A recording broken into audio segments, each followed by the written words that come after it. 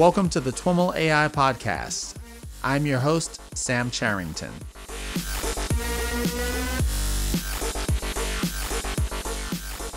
Hey everyone! Hope you all had a wonderful holiday. Over the next few weeks, we'll be running back the clock with our second annual AI Rewind series.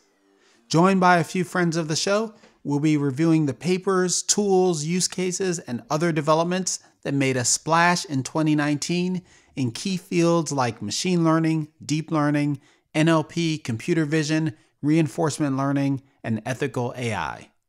Be sure to follow along with the series at twimlai.com slash rewind19. As always, we'd love to hear your thoughts on this series, including anything we might have missed. Send me your feedback or favorite papers via Twitter, where I'm at Sam Charrington, or via a comment on the show notes page you can find at twimlai.com. Happy New Year. Let's get into the show. All right, everyone, welcome back to our AI Rewind 2019 series. In this episode, we'll be covering NLP, and I've got the pleasure of being on the line with Nasrin Mostafazadeh. She is a senior AI research scientist at Elemental Cognition. Nasrin, welcome back to the TWIML AI podcast. Hi, Sam. Glad to be back. Thanks for having me. Definitely glad to be speaking with you again. We last spoke back in August of 2018. Oh, yeah. When we spoke about contextual modeling for language and vision, uh, some of your research. Uh, mm-hmm. This time we'll be reviewing some of your thoughts on the most important papers and developments more broadly in the field uh, that you work in, natural language processing in 2019. I'll have folks refer back to that previous episode for a little bit more about you and your background and what you're working on. But to get this conversation started, why don't we just start with your kind of broad take on 2019 in NLP? What was the you know, was it a big year for NLP? Uh, sure. So actually, I think yeah, I think 2019 was actually an exciting year for NLP, where you know these sort of large pre-trained neural models have been stretched widely to various different directions, and you know slowly but surely, as a community, we've started to think about uh, like the problems they have, the weaknesses, the blind spots they have. Um, so I would say this is sort of paradigm shift that we are seeing in NLP. You know, sort of we are into 2020 now. It's kind of started. I'm, i can you know reflect back on the decade. Uh, this paradigm shift started, uh, you know, back in 2015, 2016 or so, when uh, various NLP tasks could you know start to get tackled by a relatively you know straightforward approach that you would just encode the uh, input text it could be you know looked at as a sequence of uh, words sequence of characters etc then you use like attention to actually uh, uh, basically look back into the encoded representation when you're trying to predict something for the task, which could be a sequence of output tokens. Uh, so back in like 2017 or so, uh, you know, Chris Manning, uh, which is one of the uh, pioneers of our field, had this uh, basically there was this quote and belief from him that he's he believed in BiLSTM's he- hegemony, which uh, he believed that basically no matter what the task is out there. an LP task, if you try a BiLSTM at it and use attention to attend back to the uh, basically input, uh, input encoding uh, of the input, you basically can reach, uh, achieve state of the art. Now, is this referring back to the attention is all you need paper? So attention is it all you need paper is more recent. So that was when the transformers came to, to picture. This mm. is when LSTMs were still a thing, right? Okay. It's amazing that uh, how fast the field is moving. Yeah. Which in 2017 is still the, as I said, like the consensus in NLP was that you can achieve achieve state of the art if you just throw a BiLSTM at it with attention. That was the recipe.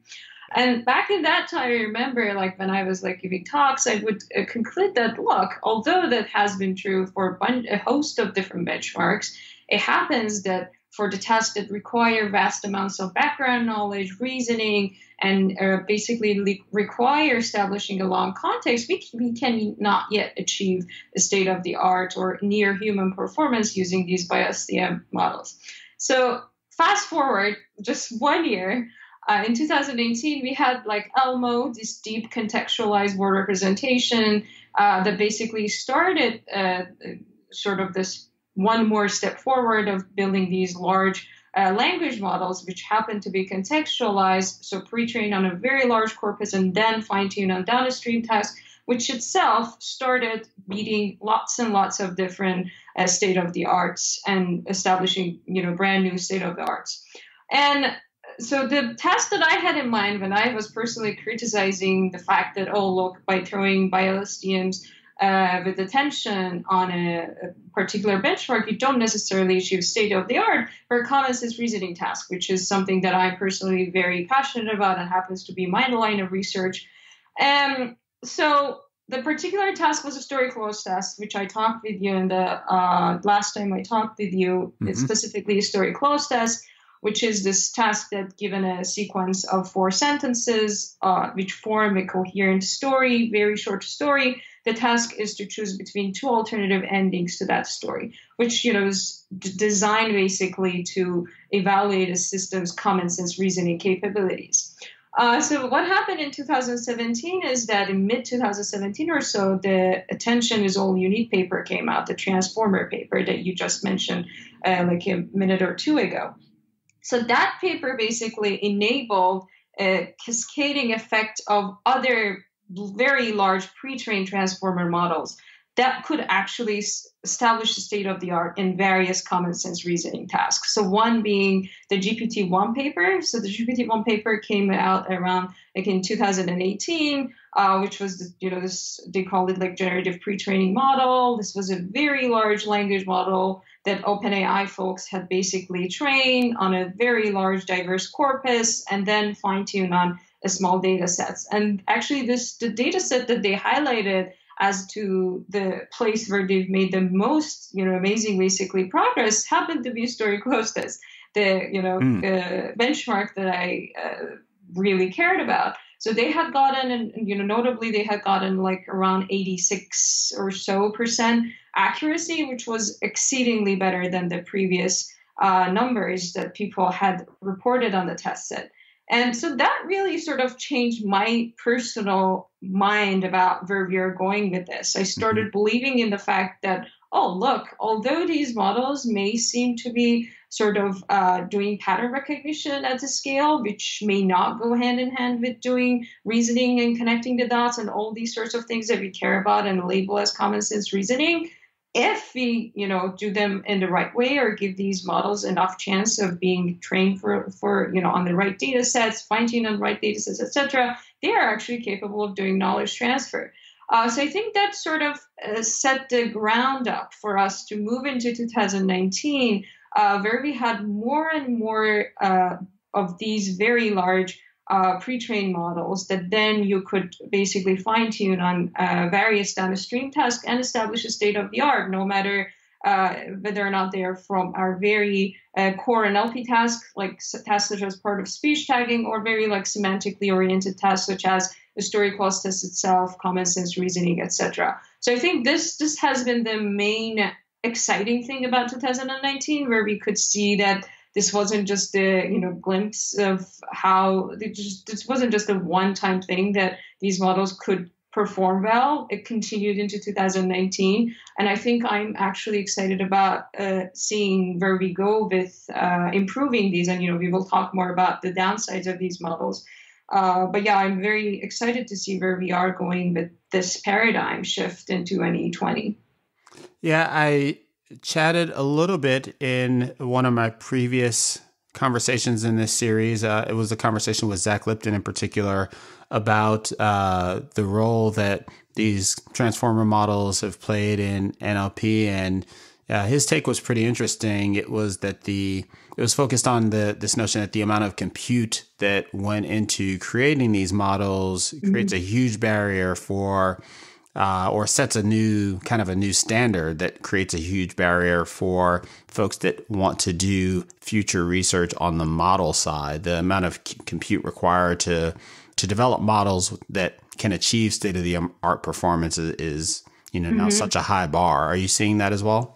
Absolutely. Actually, uh, one of the papers that I wanted to highlight, which I think I can just highlight it now, is this very amazing work, I would say, that came out of uh, UMass. This is from Strubell et al., ACL 2019 paper called Energy and Policy Consideration for Deep Learning and NLP. Mm-hmm. Uh, so I would say that, yes, we've, as I was saying, we've come a very long way in making advancements in NLP and through these very large pre-trained models that we are building but they have two major uh, sort of policy uh, you know uh, like external implications right? One of them is the fact that uh, these are these require really expensive and extensive resources. You know millions of dollars are basically used uh, you know in terms of like cloud etc uh, for basically building these models which is very much sort of unique and makes it entitled to the top players in the field, such as like the you know large tech companies. And I think that uh, this sort of implies as if AI research would tend to get privatized and only accessible to the players in industry with, mm-hmm. with access to such resources, which is of course not fair. It's not fair, and it will have lots of other uh, implications for the society as whole, and who will have access uh, to these kinds of uh, amazing outcomes of AI. So I think that's definitely a major uh, problem that we have. And along with that, the reason I wanted to highlight this paper is that something else that we haven't even thought of as much about are the uh, environmental implications, basically, of these large models that we are building, right? So this paper uh, that I referenced, Energy and Policy Consideration for Deep Learning, says that although people keep talking about the fact that we are throwing, we need to throw so much money at these models, which only a handful of players are capable to capable of doing, uh, we also are basically uh, increasing our carbon footprint. Um, so the tagline was actually, which got a lot of uh, news coverage, was that training a single AI model can emit as much carbon as five cars in their lifetime. And I think that's pretty, you know, crazy, right? Mm-hmm. Uh, I think that the number that we're citing was something around like, you know, more than like half a million pounds of carbon dioxide is emitted after just basically training one of these large models that we were just talking about. Uh, so I think that, that that's just a major consideration that we should take into account moving forward as a field. Uh, it's definitely huge, and I would refer folks interested in learning more about that to check out my interview from back in July of uh, 2019 with Emma Strubell, uh, the author of the the paper that you're referring to. Mm-hmm. So, with that in mind, when you stepped back and uh, thought about some of the more important things or more interesting things to you in 2019, you divided that into a couple of key trends. Do you want to uh, talk about the first of those? Sure, absolutely. So, uh, the first theme that I wanted to highlight uh, was interpretability, ethics, fairness, and bias in NLP. So, this uh, also happened to be one of the thematic uh, like paper tracks for our, you know, one of our major conferences uh, in 2019. And I think the time is actually ripe uh, for us as, the, as a community to start uh, thinking about the you know ethical implications of our work and basically uh, thinking beyond just making scientific improvements but also about what, what are we actually enabling uh, so i think it's been really great in the machine learning and ai community as a whole that in the past like three, four years or so, a lot of players in the field are talking about ethics in AI. But the truth is that I think it has been long overdue, and we need to educate uh, practitioners and scientists so much more on the topic. And I think it's been really a positive change that uh, in our conferences, at least, we've started making particular tracks, particular themes etc., for highlighting uh, these uh, particular considerations and giving them the credit that they deserve. Mm-hmm. Yeah, it seems like not long ago, the conversation in this area in NLP was uh, rather more simplistic than it is today. You know, we would talk a lot about the uh, kind of the word2vec example um, you know, mm-hmm. and, and, several of those were were popular. Uh, but now uh, it seems like the conversation is is quite a bit more nuanced. Is, is that something you'd agree with? Yes, absolutely. The field is definitely maturing. And as I said, the fact that we are establishing particular tracks uh, for just soliciting papers and submissions uh, for, for these particular considerations is definitely helping that movement. And uh, yeah, I think I can go ahead and uh, tell you a little bit more about the particular papers that I had in mind mm-hmm. uh, that I wanted to highlight. Um, so I think I will go ahead and talk about. So there are different angles, right, to this problem. Uh, sort of uh, ethics and fairness in AI and, and like debiasing basically AI and hence NLP models is one end of things, and then uh, basically building explainable AI and NLP systems is the other end of a spectrum because we want to have these systems be accountable towards the predictions that they're making, which goes hand in hand with sort of debiasing them or, uh, you know, basically better societal uh, use cases that they could have. Uh, so I will start with uh, the explanation one. Uh, so explanation is this really overloaded term, and you know, I'm sure like today probably won't be the day that we are going to cover what explanation means. Uh, but I'm going to just highlight uh, one paper through which I'm going to you know mention a few other papers that sort of started a debate in the field, in NLP field this year about uh, explanation. So this paper is titled Attention is Not Explanation. It's a work that came out of Northeastern University, published in NAACL 2019. The authors were Wallace and Jain. Um, so this paper, as the title suggests, is talking about attention not being explanation. Mm-hmm. And so, what they're actually uh, trying to highlight is the fact that remember, just a you know, few minutes ago, I was talking about this um, uh, paradigm of encoding and then attending and then decoding uh, for doing multiple NLP tasks. Uh, so, attention has been used and often presented, at least implicitly, as uh, this relative inf- importance of input kind of a measurement that we've had in the field. Actually, like pretty much like a common citation for, for, for summarizing this commonly held view by uh, Li et al. 2016 paper was that attention sort of provides an important way of explaining the inner workings of neural models. So it's like pretty much, it was pretty much established uh, until this, this conversation was started by this paper that attention is something that you can count as explanation. Again, I'm not going to uh, argue or basically define what explanation means, but even loosely, there were co- enough people in the community that counted attention as explanation. And you know, for me, like as someone working in common sense reasoning, caring about deep natural language understanding, and like uh, basically going beyond what's explicit out there, etc. I, I, I, personally took so many issues with that belief uh, because, as you can imagine, there are so many tasks where uh, your answer or, or, whatever the inner workings of your reasoning engine is of your reasoning paradigm is is not going to be anything explicit in the input that you can even highlight right as the attention weights uh, so that's a major obviously shortcoming but setting that aside even for a task like say a SQuAD etc where you are actually going to attend literally to parts of the input text to provide the prediction still like people were using that as their explanation. So this work actually uh, was critical of that premise. Basically, it was they were uh, claiming that it has been unclear what is the relationship between attention weights and the model outputs. And uh, so they argue that if attention wants to be a faithful explanation for any model's prediction, it should have two particular characteristics. One is that there should be a correlation between the inputs and outputs, uh, which means that uh, the way that they sort of uh, quantify this is that attention weights should be correlated with uh, measures of feature importance that we have.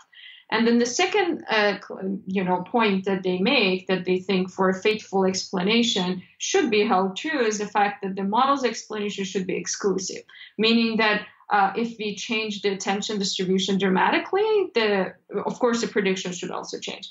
Um, so these are the two main uh, basically points that they made, and they went ahead and uh, presented actually various experiments for showing that for the first um, uh, point that actually attention weights are not correlated with measures of uh, feature importance like the gradient based ones. And for the second one, they actually showed that even if you shuffle, like randomly shuffle the uh, distribution of the attention weights, uh, there are many cases where the predictions are actually going to stay constant. So they concluded that the standard attention modules do not provide any meaningful and systematic uh, explanations, and basically the community should stop treating them as such.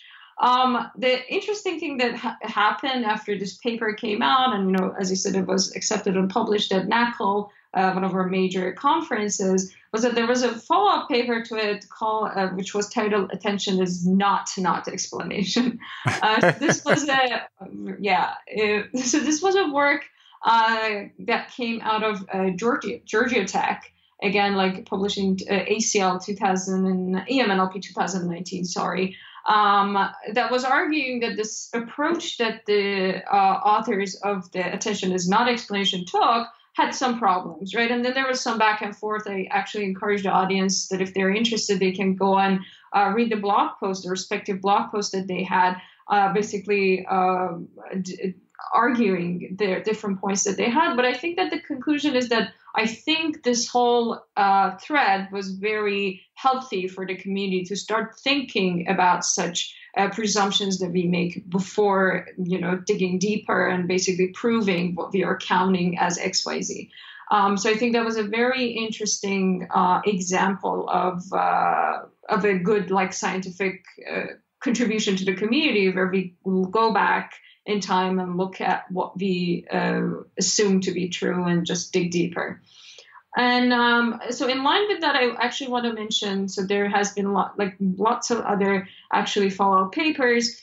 I want to highlight one uh, actually toolkit that came out of uh, uh AI2, which is called AllenNLP Interpret. So this actually happened to get the best demo paper award in uh, our major one of our major conferences as well, which is a toolkit that makes it easy for uh, you know different people to apply and visualize actually such saliency maps for whatever model they're deploying. I think uh, this whole thread, as I was saying, was very good for sort of reminding people that you have to think about interpretability. You have to think about what you count as interpretable. And for the very least, you should be able to sort of visualize what is salient uh, and like how you, can you do adversarial attacks towards different models. And I think uh, the kind of open source tooling that AI2 does is really helpful uh, for enabling individuals across like academia and industry uh, to basically dig deeper and uh, deliver on the premise of interpretability. Is, is, there a quick way for you to summarize where the community ended up through this back and forth and the subsequent papers on this issue of the relationship between attention and explanation? yeah, so I would say that this this will this is just my personal view. Uh, that I told you that the faithful explanation that the authors of the original paper were talking had the two had this was this twofold thing. They were saying that there should be a correlation between inputs and outputs. I mm-hmm. think that the way that they had done it wasn't rigorous enough in the eyes of the you know uh, other paper. Okay. But the way that they had rebutted, actually, to me, again, as, as, as someone reading their argument, made sense. I think they did a you know good enough of a job at justifying why that the correlation wasn't in place. Uh, but I do agree with the authors, the Georgia Tech authors, that yes, explanation is this very loosely defined term. It's not clear what the original authors meant by explanation, and maybe that title of attention is not explanation was too overloaded, right? They could have mm-hmm. specified what they mean by explanation.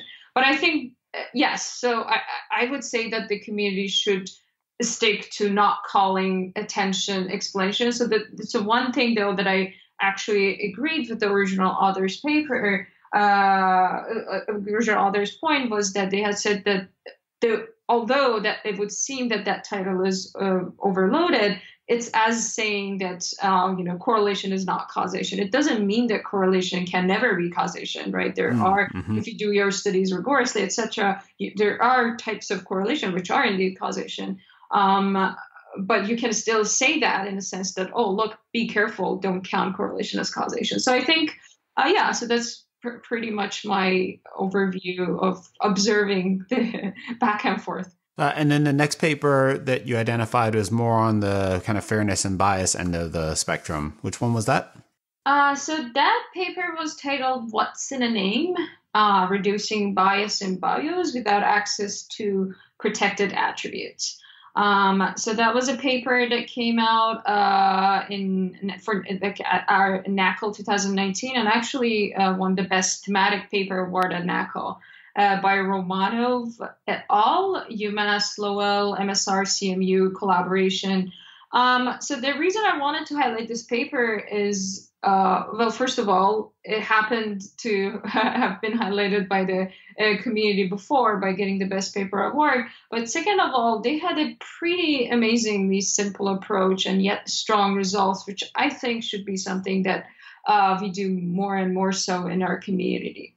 Uh, so basically, they, this paper highlights the fact that look, we are at this day and age uh, deploying lots and lots of AI systems that are automating decision making in our daily lives. And some of these decision making scenarios are high stakes. So, for example, like we have applications of AI in criminal justice, we have it in recruiting, etc. And uh, having deploying bias models can basically uh, yield very negative outcomes in pe- people's daily lives and we should be like as a community mindful as like practitioners again and scientists etc we should be really mindful about the such implications of the models that we are building uh, so uh, you know as you were saying earlier there are there have been like these representational biases like about word embedding and how like i don't know if you do like the uh, classical analogy for word2vec like x is to y like as like z is to what uh, mm-hmm. uh, if you do the analogy for like say we are talking about uh, recruiting right you want to know what kind of jobs go with what kind of people so if you analogize men to computer programmer it's like been uh, cited a lot around that it would say woman is to homemaker right? right and these are obviously very problematic when these kind of these kinds of like representational biases can turn into like really harmful allocative uh, biases in downstream tasks. So this paper is particularly trying to address how to mitigate these allocative harms that come out of these, you know, bias representations.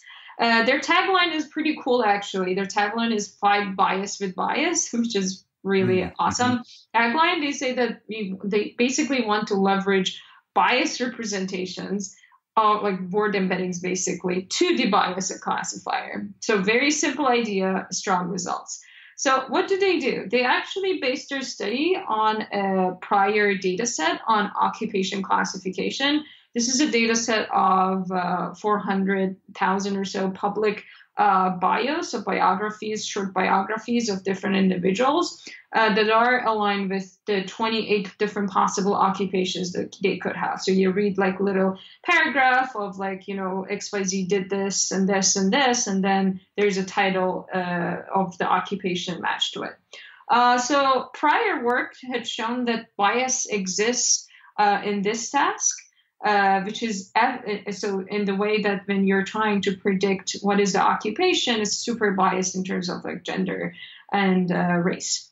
So the way that they are sort of measuring this bias is by uh, the classification accuracy gap that they are seeing. So this is also like this was a prior work that came before this work by you know the same uh, sort of team of authors, uh, where they quantified this problem as the true positive rate that exists, the true positive rate difference that exists between genders for this particular downstream tasks. So they have this, I really enjoyed reading this paper. They have this very nice graph that they show that, for example, it's more accurate to uh, predict uh, the job of, I don't know, like being a model for a female than it is to predict the job of being a doctor, physician for a female.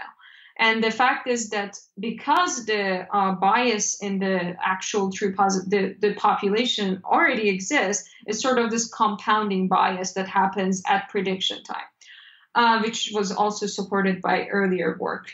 Uh, one interesting thing I want to mention is that you would think that if that maybe these models, so imagine you're just building your most vanilla classifier, right? Imagine the BiLSTM uh, model that I was saying, you just feed in the bios, you attend, etc. You make a prediction, 28 categories like labels that you're generating. Mm-hmm. Uh, you would think that if you scrub the gender indicators from the bios, let's say like the you know the proper nouns, the uh, you know gender uh, pronouns, etc. Maybe you will be able to debias these models, meaning that you can shrink that true positive rate gap that I was mentioning. But they, this study and the prior work actually show that scrubbing such explicit gender indicators does no good. So no difference at all. So the same accuracy, same TPR, like uh, true positive rate gap, as with a model that uses the explicit gendered uh, indicators, which goes to showing that the bias is sourced from elsewhere, right? Which is a very interesting um, kind of a realization that this work and the prior work uh, ha- have had. So in order to overcome this problem, they they have this very simple yet super effective idea that they are saying that we want to use the embedding of names as the universal proxies uh, for race, gender, and presumably age. So what they say is that look, turns out in names of individuals by just you know different kind of proper nouns, the names and family names, we are already encoding lots and lots of biases. So they even like show like they prove in the paper show uh, sort of how the gender and race could be core highly correlated uh, with these uh, names when you cluster them. So they go ahead and define this very simple way of uh, sort of debiasing the classifier that you build by discouraging uh, the model to learn a correlation between the name embedding and the predict- predicted label. So get your any you know vanilla classifier. All you do is that you swap in uh, your existing objective function with this new objective function that now penalizes, basically penalizes the um, uh, the model if there's a correlation between the name, the embedding, and the predicted label. So they show very like really strong results that by doing so they can really minimize the um, the, the that gap, the TPR gap that I was mentioning. Uh, so that was their conclusion that this this this is achievable. Basically, moving forward, if you are deploying down like models in industry in really high stakes situations, name embeddings happen to be a good proxy for debiasing the model. Uh, but they emphasize that the bias is not zero yet, so there is definitely further room for uh, improvement of uh, such uh, high stake predictive models in future. So, kind of when you think about the relationship between the explainability aspect of the first paper that you mentioned and mm-hmm. the the bias fairness, you know, do you you know, are there are other papers that are in different kind of points on this axis that are, are worth mentioning for folks that want to dig in deeper?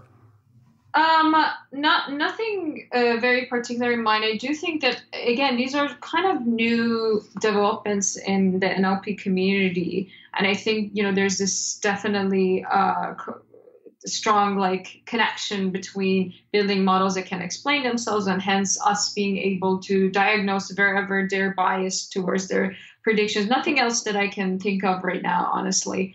Um, um, but yeah, there are other actually conferences outside of the NLP community, like the FAT conference, etc., that have lots of amazing work coming out of them. Uh, in the you know it's like same area, maybe they take language as one of their tasks that every now and then they report um, results on, and I think that people should definitely check check those conferences out. Mm-hmm. But it sounds like an area that you expect to see more uh, of in the future. But I guess we'll get to mm-hmm. predictions. Uh, let's not get ahead of ourselves. and before we do that, kind of the next batch of papers that you identified go back to kind of your initial take on 2019 and the the role of these large pre-trained models. Um, walk us through the the papers that you had in mind there. Sure. Uh, so I think it's uh, needless to say that this year has been the year of uh, transfer learning for NLP, uh, sort of continue, as I was saying, continuing in 2018, but more so maybe 2019 because we saw real world impact through this work, basically. Uh, so I, the, the, I want to mainly uh, highlight two main such models, one BERT and one GPT-2 which I think people have heard enough of.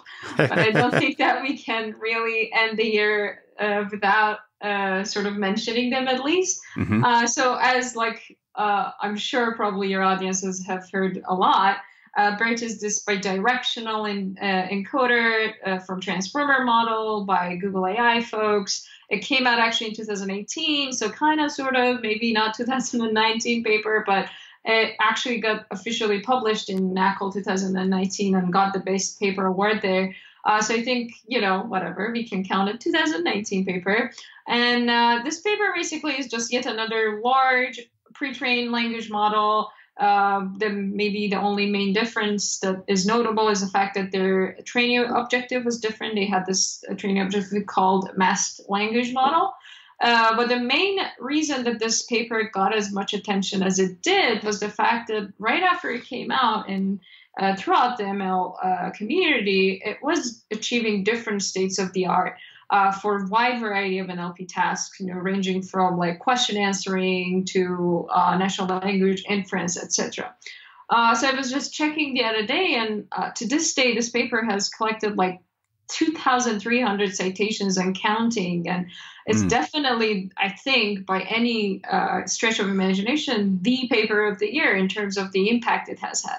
And I think I don't want to spend like much time talking about like all the other models that came out. Like there's so many models that have you know been built sort of on top of BERT and being inspired by BERT, RoBERTa, right. etc. Uh, but I think the main thing that I want to highlight is the fact that uh, BERT got used a lot in industry. Basically, at this day and age, just there's so many like i was personally surprised that you would see like these different startups that even their job post one of the requirements that they list is like oh like you have to have worked with BERT. And i'm like what? Like what world are we living in and eventually like BERT becomes like a requirement for like people to recruit. Um, so this just goes to saying that there was this fear of missing out uh, in the uh, you know industry for people who were not actually improving whatever underlying NLP pipelines they had through BERT. And as I said, it was due to the fact that there were so many positive signals from the uh, you know corresponding uh, positive uh, progress in the other tasks that everyone thought that oh whatever XYZ task they're working on should also be one of them. Uh, so, anyways, uh, that that's one of the interesting, I, I, would say, observations about the effect that BERT had in the community.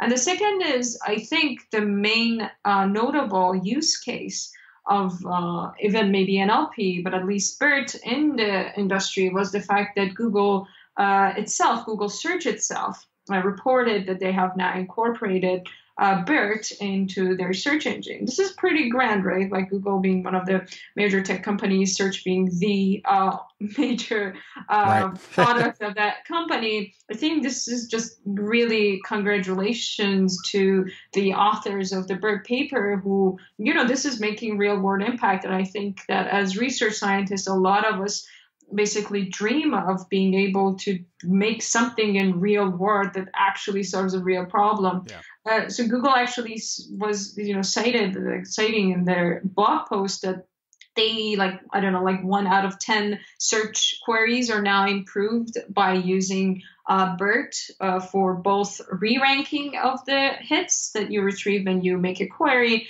and also generating those snippets that are like these little summaries of the uh, pages, basically that are retrieved which is you know pretty uh, amazing to hear honestly as a, just an NLP researcher.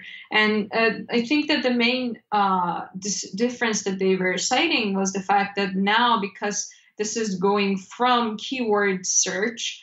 Uh, which is like you know old school like uh, just search like information retrieval etc they are going, moving away from that and towards natural language understanding for search, they are capable of doing much more sophisticated uh, query understanding, natural language understanding. So, like for example, they highlighted the fact that uh, they are now understanding prepositions much better than they used to. So, for a sample query such as I don't know, like 2019 Brazil traveler to USA needs a visa. They were saying that before BERT, they didn't know that it, this is this means that like it should be a like a Brazilian traveling to U.S. Uh, but now with BERT, they know that like what that to preposition actually means, and hence retrieve better results, which is you know pretty, I would say, amazing outcome uh, for the community uh, to see such an impact. Oh, that's awesome. Yeah, I, have definitely, uh, I guess it goes without saying that I've seen it all over the place as well. the uh, but you also mentioned GPT two. Did you um, did you want to chat about that as well? Absolutely. So, another thing that we cannot go without talking about is GPT-2. GPT-2 definitely, and the way that the whole, you know, release of it was handled was one of the highlights of the year in AI for sure, let alone NLP. Uh, so, just uh, you know, for whoever that might not uh, been, be familiar with, uh, GPT-2 was this another larger scale pre-trained language model uh, that basically came out of OpenAI the main feature of it being the fact that it was large enough so they their largest model was 1.5 like billion parameters so it was large enough and uh, trained on good enough of a you know uh, sort of high quality curated uh, web scale data set that they were uh, be able to showcase that they are generating really coherent outputs paragraphs and stories you call it um, they also showed that through this uh, particular very large language model that they've built, they are able to do zero shot uh, generalization to other downstream tasks. So, not fine tuning, meaning you don't have a, even a small scale uh, particular training corpus to fine tune the model, just literally zero shot right off, off out of the box they show that you can do you know some level of you know you, sh- you can like compete with a state of the art in some just you know much less than a state of but still make some performance in like machine translation question answering reading comprehension summarization etc so this was the work um, but i would say that the uh, attention this work got uh, was not due to the performance necessarily but due to the uh, way that it was released uh, so what happened, and I'm sure you know, you I know you guys have already covered this, so I'll just mention this quickly. That the stage release process that they had in mind, where they uh, basically cited that given how amazing this work, this model is working, it's too uh, basically dangerous for it to be released to the public community for the potential of misuse. So they held back and they did this uh, stage release process. They released the smallest model in February 2019, and then in November they finally released the full uh, 1.5 uh, million parameter model. But that whole like that whole process sort of created this GPT-2 saga. Of course, there were so many people that were kind of outraged by the fact that oh my goodness, this is open and open AI. How could you not release something that you uh, have created? And then there were some you know proponents saying that oh no, this is a good example of the community sort of thinking about the implications of their work, etc.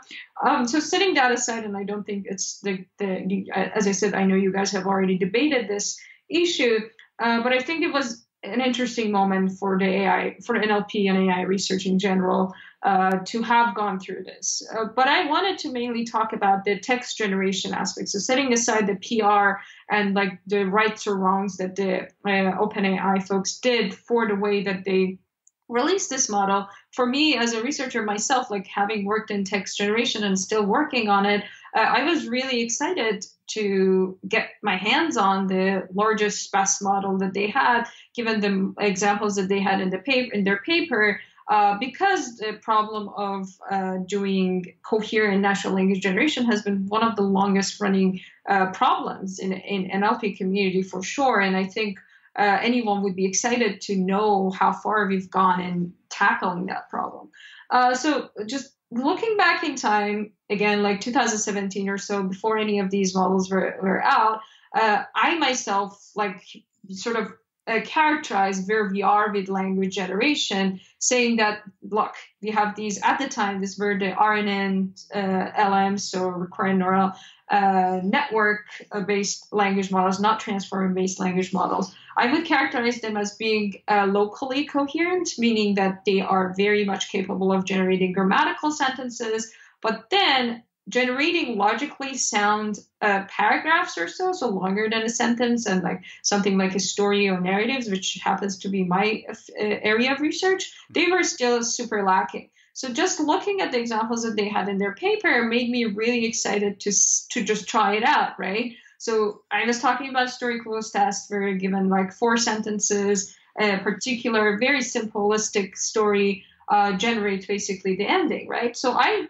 basically after even with the initial releases, the smaller models, but even with the latest, the largest model, I've you know personally tried out this the GPT-2 model for various such story cloze test instances. So one, for example, that I would want to highlight was just this very simple story that I'm going to build up on top of.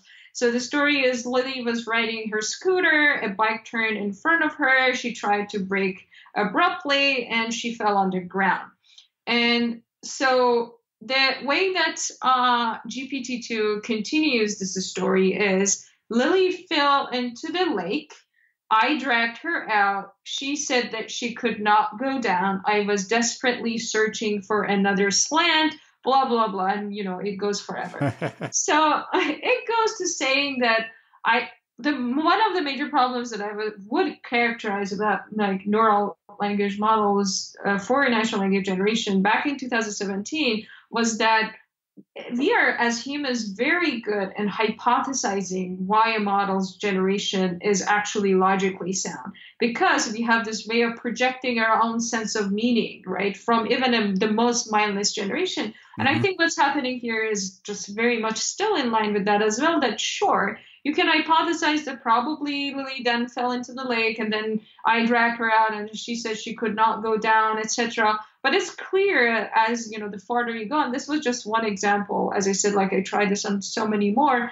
The more you play with the model, the more you see that that logically sound generation globally at like paragraph level, story level, etc., is still something that as a community we are lacking. And I think that there's a wide range of you know generation tasks that you can work on and care about. And i guess i, I would characterize this this still to this day i would say that generating logically sound stories narratives that make sense that show common sense is um, you know one of the major bottlenecks i would say of building an, an nlp model that can work well basically and effectively how would you characterize the differences between the the smaller model and the, the full model that was released later in the year in terms of story generation?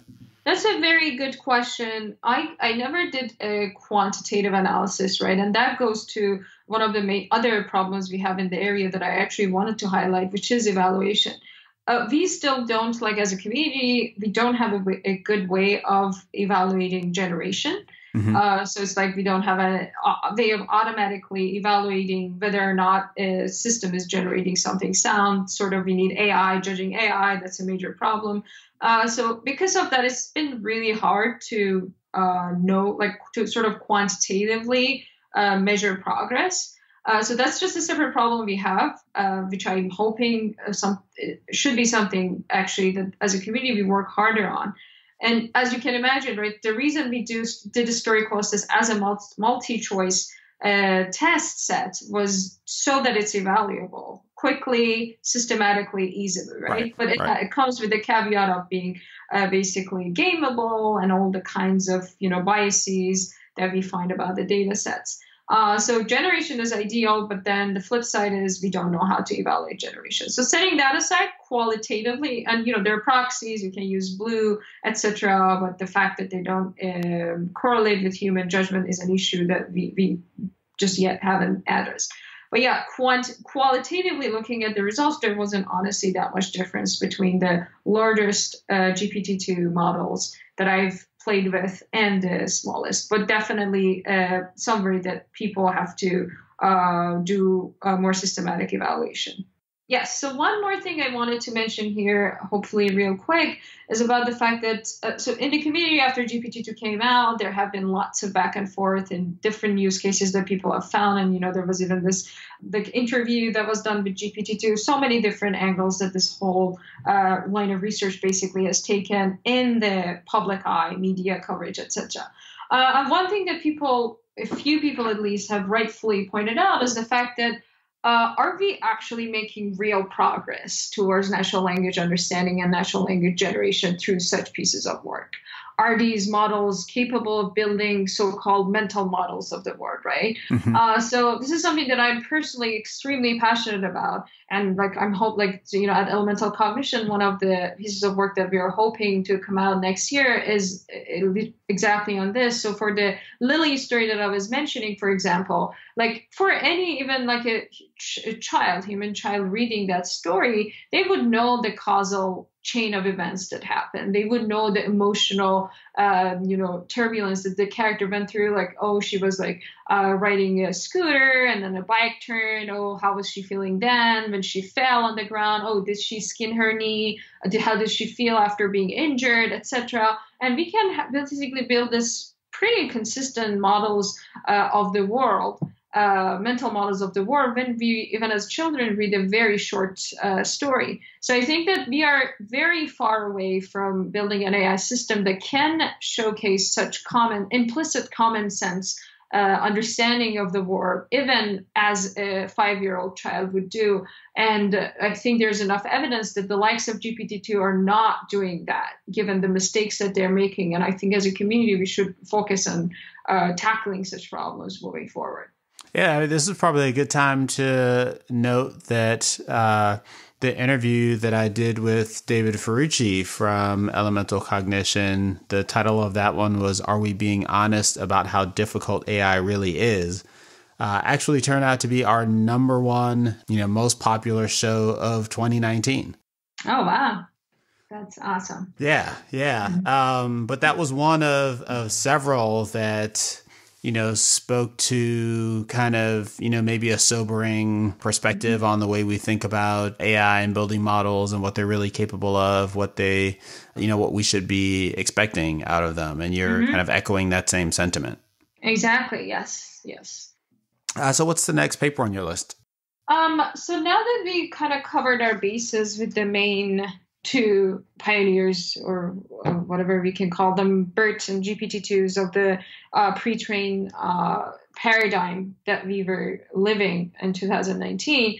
Uh, I think it's good to highlight one of the major advances that we could make uh, through uh, the likes of BERT, etc., uh, on a downstream task that was held as one of the feats of the year. So this is a work that came out of uh, AI2 as well. It's called From F to A on the and uh, on the New York uh, Regents Science Exam, an over, overview of the Aristo project. So this is basically uh, an accomplishment that AI2 had, uh, which builds on top of the work that they've been doing for the past like four or five years at least on uh, tackling science exams. So you know what like paul allen had this dream of doing like building a digital aristotle and actually four years ago or so they uh, made a challenge for the research community to come up with an ai system that can beat an eighth grader in this uh, standardized science test so back then the belief was that you know uh, we've okay we've built like um, ibm watson which is good at jeopardy can we build a system that doesn't do Jeopardy, but so much simpler? It just beats an eighth grader. Um, so as I said, that was like one of the uh, like one of Paul Allen's dreams. But back in time when they did this as a Kaggle contest, uh, the best system that was submitted got around like sixty something percent. Uh, which was far, far away from the p- human performance, of course, or like a eighth grader performance to pass the test. So fast forward, uh, one of the main advances I would say in 2019 that was made was that they, through using uh, BERT, so both BERT and RoBERTa uh, language models, they could uh, boost their performance from 63 or something, I think, uh, per percent that they had achieved in 2016 to now 90.7% uh, in 2019, which was a passing score. Mm. So this was pretty uh, much of a feat in the field uh, for for you know various reasons. This you know like the choice of science exams is something that we can debate whether or not it's a good benchmark. Um, but at least from the surface level, it seems like uh, you know science, such science uh, questions require natural language understanding, co- having common sense knowledge, pretty broad common sense knowledge, knowing how the world works, etc., and then reasoning capabilities, right? And also from like a more practical standpoint exams are accessible measurable right? The multi-choice exam of course is something that you can quickly evaluate. Uh, so it, it seems like a pretty compelling uh, these you know the following seemed like a pretty compelling reason to to want to count that as a good metric. Uh, but of course uh, as many even teachers would argue uh, standardized tests like multiple choice tests are not the best measure of intelligence. They are gameable mm-hmm. right? Like even children uh, who get good test scores are not necessarily the, the most intelligent or the best in their classes. Uh, so there are those aspects, and I'm actually glad that AI2 folks have been pretty um, good with not letting this get hyped up, right, out of their um, scope of what they would characterize, uh, beyond their scope of what, what they would characterize as their re- the real outcome of this work. So they even themselves uh, did some adversarial testing of the model. They showcased that if you add uh, various other uh, multiple like what, other choices to this multiple choice instances that are like likely to sort of um, be the answer it's just a challenging answer uh, the model's performance drops from 90% that you know 90 plus percent that it had gotten to 60% so they have really even themselves highlighted the fact that look this is this is it. It's a narrow particular test set, standardized test set that this model is working well on. It doesn't mean true intelligence. Please don't title this as uh, now we have an AI system that can beat high schoolers, etc. Right. Um, so with that caveat aside, and one more thing, by the way, they also mentioned that the uh, real eighth graders uh, also answer the uh, questions that include diagrams and they don't. So that's another, you know, point to take into account. Mm-hmm. Uh. But yeah, given all this, I think still this is pretty amazing that by basically introducing these li- large language models that do implicitly encode lots of word knowledge, lots of, you know, contextualized knowledge, lots of uh, gram- grammatical even knowledge, you are able to boost your performance on such a test. Nice, nice. What's the next paper on your list? So the next paper is uh, uh, called "Right for the Wrong Reasons." So first of all, I love the title. I think it encompasses so many things that uh, could has gone wrong and could go wrong uh, in our uh, you know with our benchmarking and in, in NLP community.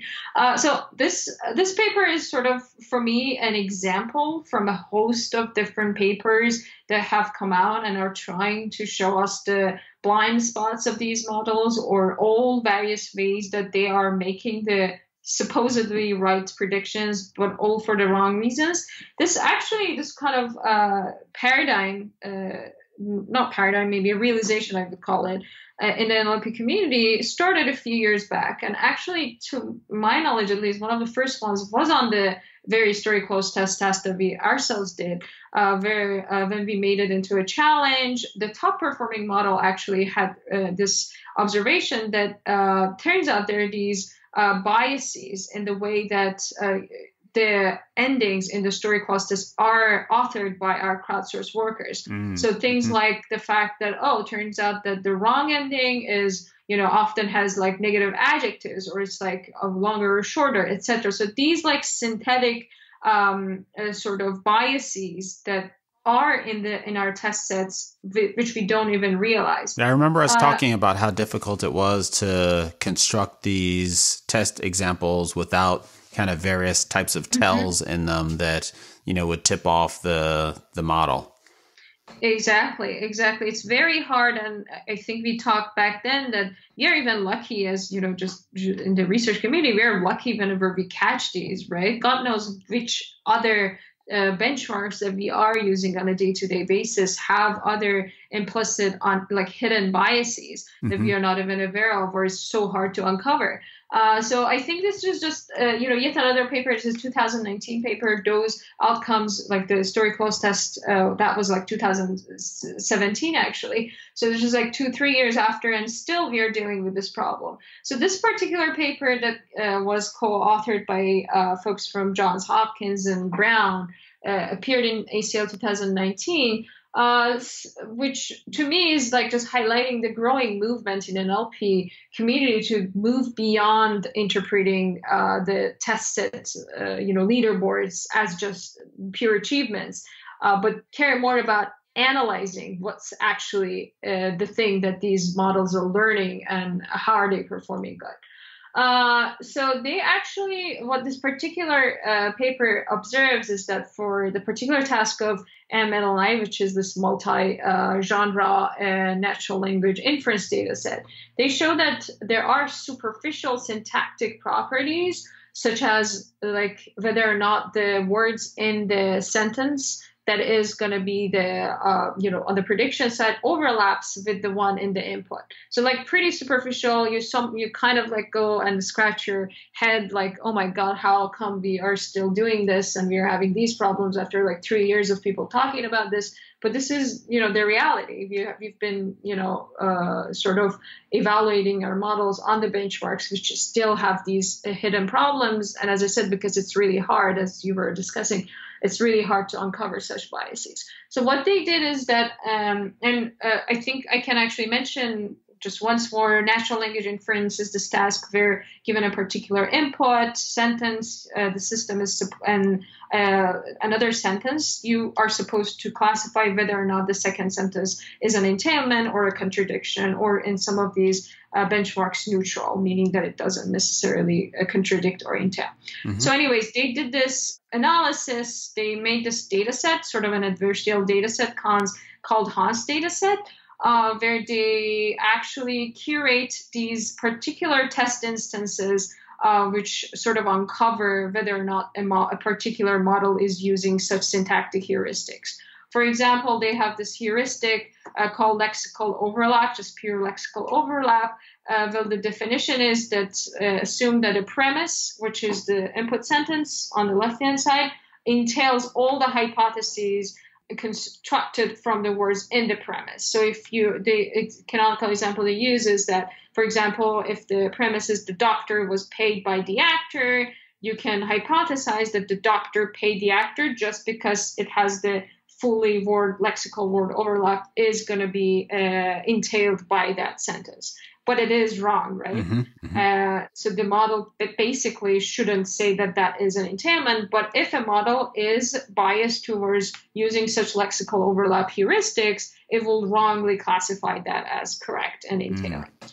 so what they do is that they show show that actually on this HANS dataset that they create, that is actually true. That a lot of like a majority actually of uh, the uh, state of the art models on MNLI dataset were doing this very thing. That they were actually uh, very inaccurate in classifying such uh, instances where the uh, heuristic is the, the flip basically.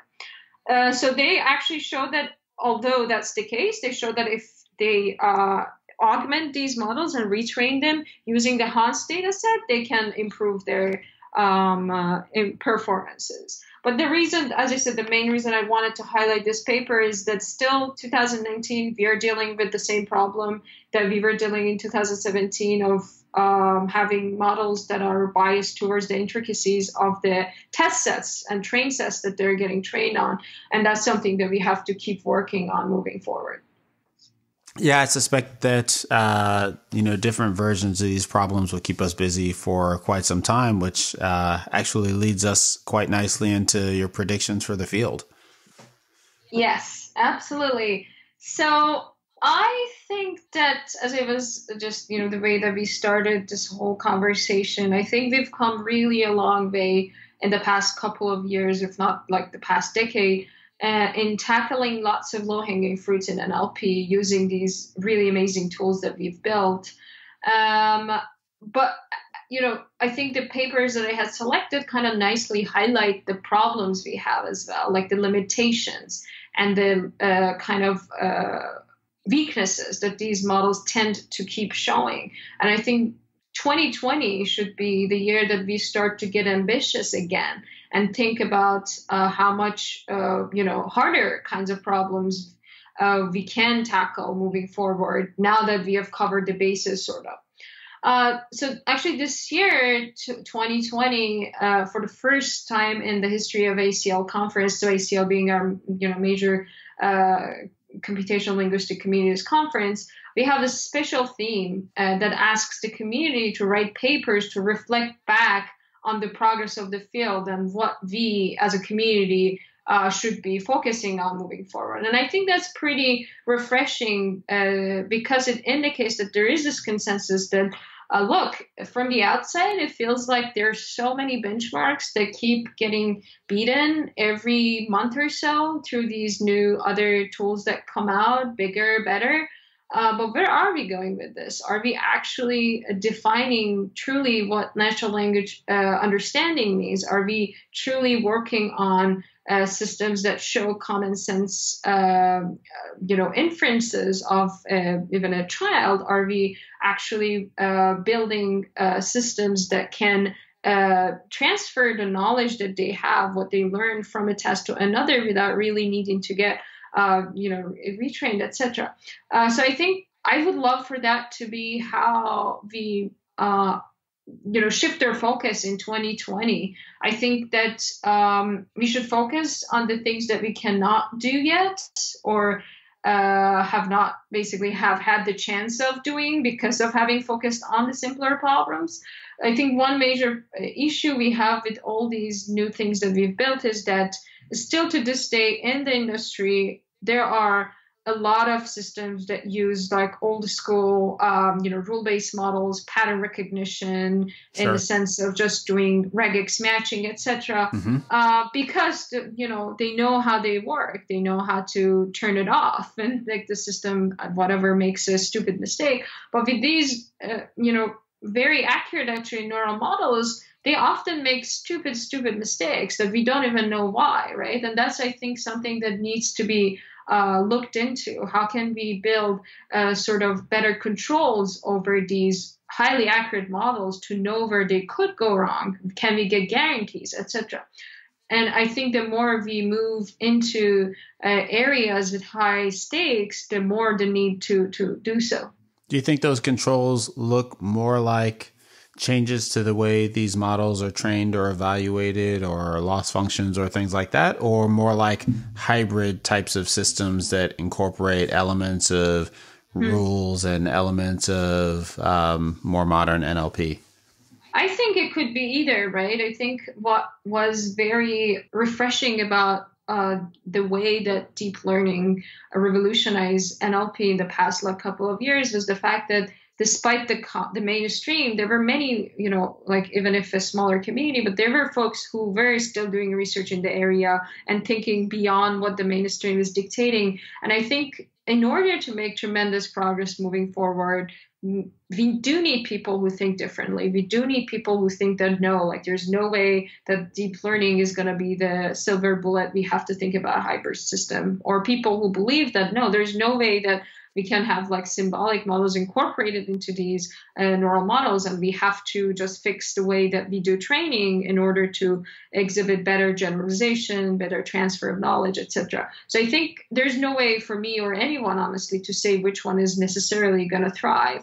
I think the, the more people we have uh, in the community caring about the right problems as opposed to the right approaches the, the higher chances of tackling these major remaining problems in the area uh, what else do you foresee? So there are a couple of other things. I think that um, we we will start having more rigorous evaluations in place. I think that we will better know the implications of establishing state of the art on various benchmarks. As I was saying, there are even environmental implications of all the uh, sort of uh, flag planting that we do at this day and age. And I think uh, more people should think about those aspects of their work. Actually, there was a work, another work uh, called Green AI by UW uh, people uh, that they were encouraging the community to also report the efficiency of their resource usage along with the other classical uh, metrics such as like accuracy, etc., mm-hmm. when they are mm-hmm. reporting numbers. And I think those are really interesting directions that the community could take, and potentially uh, we may no longer uh, count the best work of the year, the largest work of the year. Maybe we, we know like that. Oh, look, this just had this really negative implication environmentally, and uh, whatever it wasn't fair. So we, we can you know think think beyond that basically. And uh, another thing is, uh, uh, you know, it's like such a no-brainer. I think we are going to start to work more and more on explainable models and interpretable models. So it's very like commonly the reason people care about explanation and um, uh, interpretability is for the accountability issue, for fairness issue, etc., which is really major. But the reason I personally am a big advocate and I've been interested in working on this um, for the past like a couple of years, and we do so even more broadly at Elemental Cognition, is the fact that explanation is this inherent capability of human beings, right? Even a little child can explain the kinds of reasoning that the kind of reasoning that they do of course we can argue again what is explanation. But i think building models that can uh, be like held accountable towards the predictions they make and have ways of explaining it to an average human which i would argue should be through natural language is going to be something that we will see more and more in 2020 and uh, the probably, hopefully, last thing that I would mention is, of course, we have to build uh, causal models of the world that I was mentioning. Uh, we need to build systems that show common sense, build systems that are able to uh, basically build this causal map of the world, how the events uh, basically follow each other. How do we know this happens versus the other thing doesn't happen and what are the you know implications in terms of like emotions of characters who where what etc. So I think these are really kinds of directions that the field should be taking moving forward in the decade, not necessarily 2020. But I'm hoping, you know, really in the next eight, nine years or so, we are going to say that finally we have a system that can um, start to at least show the basic common sense understanding of a five year old child. That's awesome. Awesome. Nasrin, thanks so much for taking the time to review your favorite papers of 2019 with us and to talk through your predictions. Um, uh, no doubt it will be an exciting year in 2020 in NLP and looking forward to keeping in touch on it. Yes, same here. Thank you so much, Sam. Looking forward to 2020. thanks so much. All right, everyone, that's our show for today. For more information on today's guest or for links to any of the materials mentioned, check out twimlai.com slash rewind19. Be sure to leave us a five-star rating and a glowing review after you hit that subscribe button on your favorite podcast catcher. Thanks so much for listening and catch you next time.